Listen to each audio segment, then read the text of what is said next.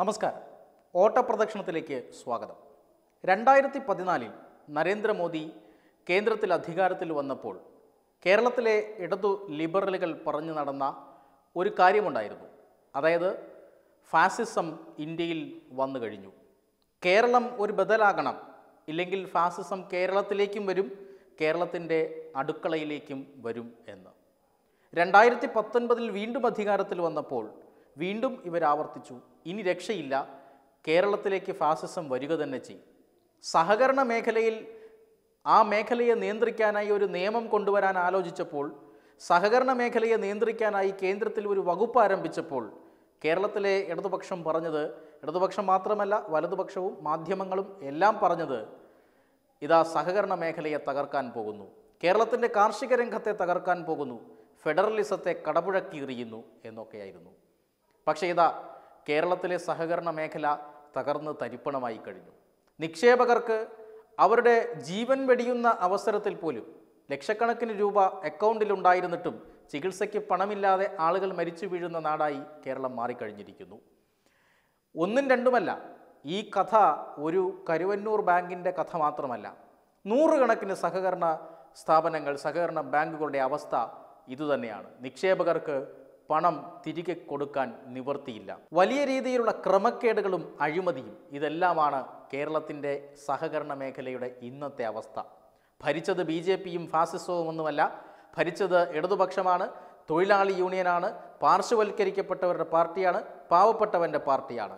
പക്ഷേ ഇന്ന് കേരളത്തിൽ നിക്ഷേപിച്ച പണം അല്ലെങ്കിൽ ഒരു ജന്മം കൊണ്ടുണ്ടാക്കിയ സമ്പത്ത് ബാങ്കിലിട്ട പണം തിരികെ ചോദിക്കുമ്പോൾ ജീവൻ വെടിയാൻ വെടിയുന്ന അവസരത്തിൽ പോലും തിരികെ ചോദിക്കുമ്പോൾ കൊടുക്കാതെ അല്ലെങ്കിൽ ഭരണകൂടത്തിന് മുന്നിൽ തങ്ങളുടെ ബാങ്ക് നിക്ഷേപം തിരികെ ചോദിക്കാൻ കെഞ്ചുന്ന ഒരു ജനതയായി കേരളം മാറിയിരിക്കുന്നു.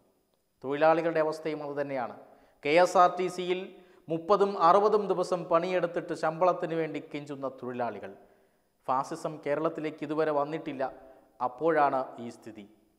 അപ്പോൾ ഒരു ചോദ്യം നമുക്ക് ചോദിക്കാം. ഈ ഫാസിസം ഫാസിസം എന്നതുകൊണ്ട് നിങ്ങൾ എന്താണ് ഉദ്ദേശിച്ചത്? നിങ്ങളുടെ തന്നെ ഭരണത്തെയാണോ? നിങ്ങളുടെ തന്നെ നയത്തെയാണോ?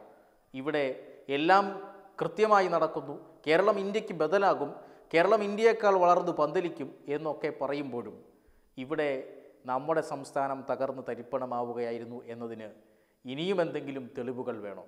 മൃതദേഹവുമായി ഒരു മനുഷ്യൻ സ്വന്തം ഭാര്യയുടെ മൃതദേഹവുമായി ഒരു മനുഷ്യൻ ബാങ്കിന് മുന്നിൽ സമരം ചെയ്യുമ്പോൾ സമരങ്ങളിലൂടെ വളർന്നു വന്ന ഒരു രാഷ്ട്രീയ പാർട്ടി ഭരിക്കുന്ന രാഷ്ട്രീയ പാർട്ടി നേതൃത്വം നൽകുന്ന സർക്കാർ ഈ സമരം ചെയ്ത മനുഷ്യനെതിരെ മൃതദേഹത്തെ ആ അനാദരിച്ച് അല്ലെങ്കിൽ മൃതദേഹത്തോട് അനാദരവ് കാട്ടി എന്ന പേരിൽ കേസെടുത്തിരിക്കുന്ന കേരളമാണ്.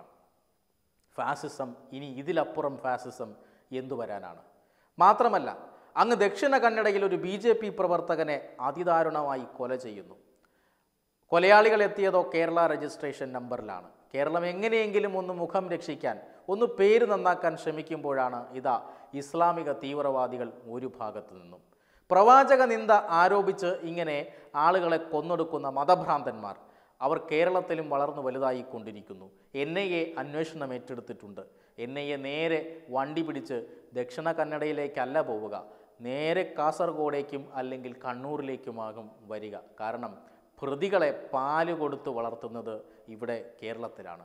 തീവ്രവാദികളെ പാൽ കൊടുത്ത് വളർത്തുന്നത് കേരളമാണ്.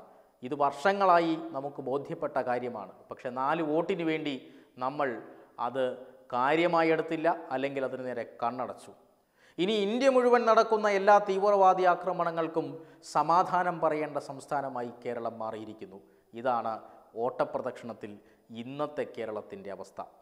നമുക്കറിയാം മറ്റൊരു പ്രധാനപ്പെട്ട വാർത്ത കൂടിയുണ്ട്. കേന്ദ്രമന്ത്രി സ്മൃതി ഇറാനിയെ ചൊറിയാൻ ചെന്ന കോൺഗ്രസ് പ്രവർത്തകർക്ക് കോൺഗ്രസ് നേതാക്കൾക്ക് ഇന്ന് കിട്ടിയ പണി എന്താണെന്നറിയാം. കോടതി ഇരുപത്തിനാല് മണിക്കൂറിനകം ആ വ്യാജ പ്രചരണങ്ങൾ ഉൾക്കൊള്ളുന്ന ട്വീറ്റുകൾ പിൻവലിക്കാൻ കോൺഗ്രസ് നേതാക്കളോട് ആവശ്യപ്പെട്ടിരിക്കുന്നു. സ്മൃതി ഇറാനിയുടെ മകൾ ബാറ് നടത്തുന്നു ഗോവയിൽ അനധികൃത ബാറ് നടത്തുന്നു എന്തൊക്കെയായിരുന്നു വിവാദം. ഒരു പേപ്പർ എഴുതി കോടതിയിൽ കൊടുത്തപ്പോൾ കോൺഗ്രസിന്റെ ആപ്പീസ് പൊട്ടി. ഇതാണ് മന്ത്രി ഇതാവണം മന്ത്രി. അഴിമതി തനിക്ക് നേരെ ഉണ്ടായാൽ അത് അന്വേഷിക്കണം. അതല്ല കഴമ്പില്ലാത്ത ആരോപണമാണെങ്കിൽ അതിനെതിരെ കേസ് കൊടുക്കണം. മുഖ്യമന്ത്രി പിണറായി വിജയൻ കണ്ടുപഠിക്കേണ്ട വ്യക്തിത്വമാണ് നമ്മുടെ സ്മൃതി ഇറാനി. പിണറായി വിജയന്റെ മേലിലും വലിയ വലിയ ആരോപണങ്ങളുണ്ടല്ലോ. അത് അദ്ദേഹം നിഷേധിക്കുകയാണെങ്കിൽ തീർച്ചയായും ആരോപണം ഉന്നയിച്ചിരിക്കുന്നവർക്കെതിരെ കേസ് കൊടുക്കുക. ഇല്ല എങ്കിൽ സ്വന്തം സ്ഥാനമൊഴിഞ്ഞ് ഈ ആരോപണത്തെക്കുറിച്ച് അന്വേഷിക്കുക. ഇത് രണ്ടും ചെയ്യാതെ പാവങ്ങളുടെ പണവും പാവങ്ങളുടെ സമ്പത്ത് ഊറ്റിക്കുടിച്ച് അധികാരത്തിൽ കടിച്ചു തൂങ്ങുന്നവനെയാണ് യഥാർത്ഥത്തിൽ ഫാസിസ്റ്റ് എന്ന് വിളിക്കേണ്ടത്. വെബ് ഡെസ്ക് തത്തുമൈ ന്യൂസ്.